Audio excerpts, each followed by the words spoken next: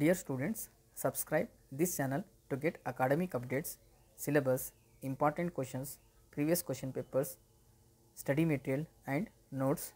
Students, we have two important updates from JNTU Hyderabad.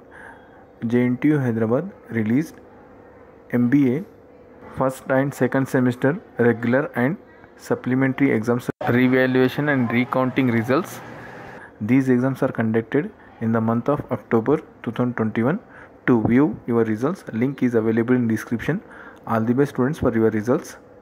Next, university released revaluation and recounting notification for BTech fourth year first semester supplementary exams. These exams are conducted in February 2022. Interested students apply for revaluation and recounting on or before 8th April 2022. For revaluation, fee is 2000 rupees. For recounting, 400 rupees is there. Thank you for watching. Like and share this video with your friends.